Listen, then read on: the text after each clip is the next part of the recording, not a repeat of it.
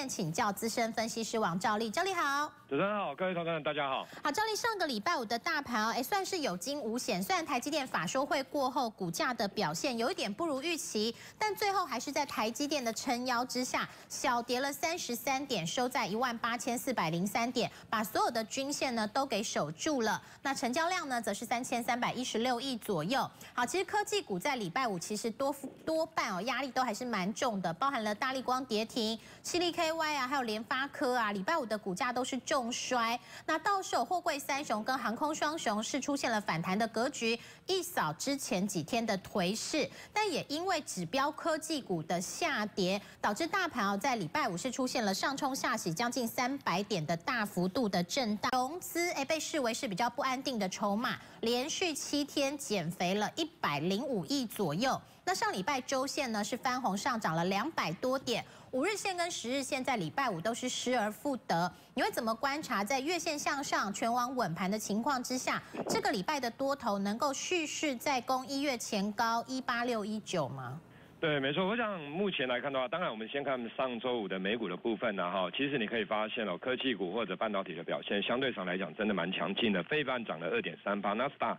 涨了零点五九帕，那道琼的部分跌零点五六帕。那道琼的跌，当然最主要是因为呃一些银行股的部分，然后你比如说像小摩的部分或者大摩，小摩在上礼拜五跌了六点一五帕，那大摩的部分跌了三点五八帕，花旗银行也跌了一点二五帕的一个水准。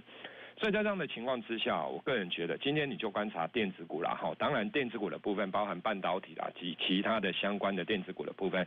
那金融股的部分今天有可能表现相对上来讲就会比较受到压抑啦，哈，因为。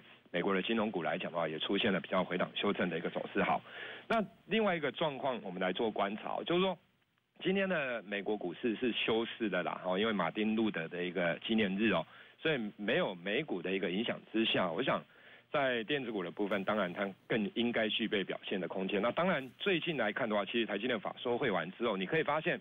很多的内资或外资的研究报告，基本上真的对于台积电都是出现调升平等或者是调高目标价的一个动作。那大力光的部分来看的话，其实哦它会跌停，当然最主要是因为看到了我看到了大概有三家都是调降它的一个目标价，所以这两个状况是不太一样的。好，那假如台积电这个地方其实那么多人哦那么多的券商调高了它的一个目标价，再加上其实你有没有发现最近？不管是投信或者是外资，针对台积电部分，基本上都站在买超的一个动作。尤其外资买超的张数，在上周五来讲，真的是蛮大。那上周五的台积电开高之后，盘中一度杀到平板，尾盘又出现拉升的一个动作。那你看到筹码是谁买的？其实是外资。那一般的投资人反而他的持股是减少，所以就筹码面的部分，台积电其实它也更加的一个安定。所以我个人认为啦，其实这个地方真的电子股你要特别的一个留意好。那当然，另外一块就是丙种的结账的卖压，其实我个人觉得已经陆续的结束，因为丙种这么快就结束了吗？因为之前反而是说，哎，可能在台积电的法说会过后，丙种金主要开始结账。不会，它其实早就已经在结账了啦。哦，因为你可以看到，其实最近的很多的中小型电子股的部分，不止中小型电子股，你像货柜的部分，大家有没有发现，其实货柜最近也蛮弱的。那不过在上礼拜五也出现了止跌的一个反弹的迹象，至少短线上。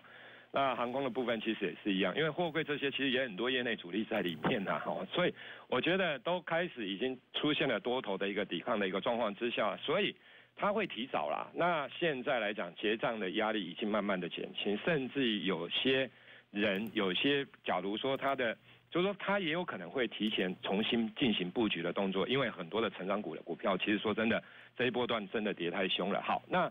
上市的指数的部分，其实它还在季线之上。那当然，大家也知道，上市强当然是因为台积电了好。那台积电的功，等一下跟大家报告会带动什么？哪些的类股？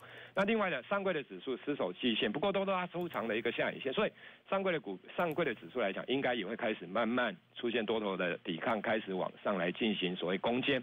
法说的部分，当然有一月二十号的联电，一月二十七号的联发科。那我觉得。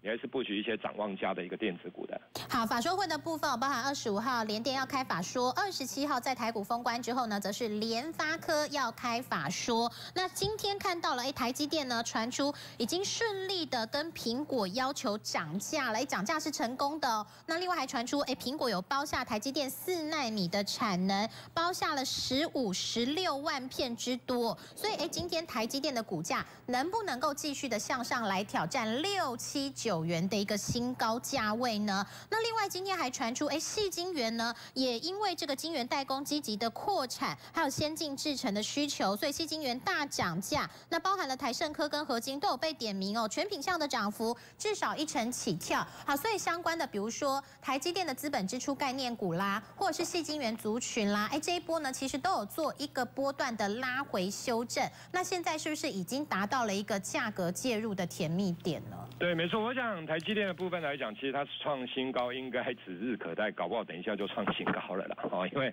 其他的利多平常，那刚刚也有听到，其实内外资基本上都调高了目标，叫中长线，它真的没什么太多的问题啦，除非美国股市出现连续性的一个重挫走势。好，那在这样的情况之下，台积电假如创新高，那其实它当然会带动人，比如说像 IP 的族群、细晶圆啊等等，或者是你看高盛它也点兵看好半导体 ABF 等等。好，那我来跟大家报告，当然大家会关心的台积电大联盟的部分，台积电大联盟你要买的不是设备的股票，因为设备它有入账。是设备股吗？我觉得设备它有入账的问题啦，所以说它每个月的营收其实波动太大，你要买耗材的部分啊，就材料的部分。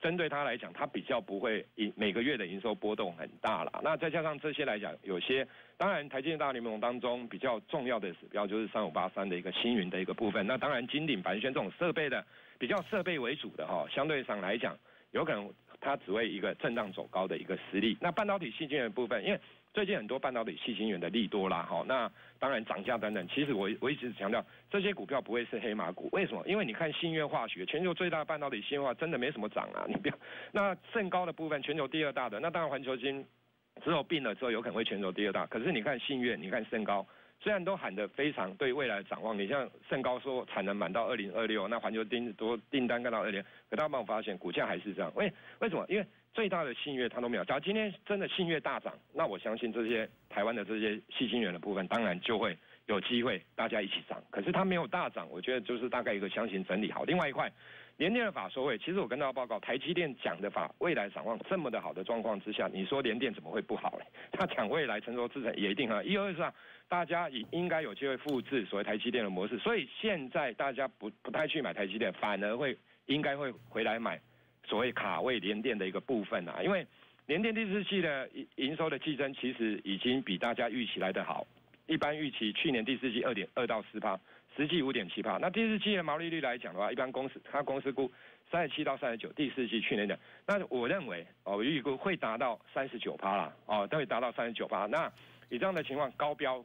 达得到好，那未来需求也不错，所以我觉得连电角你你这个地方台阶没卡位到的，那有可能连电这个地方也可以。I P 的部分很重要，或者是 I C 设计。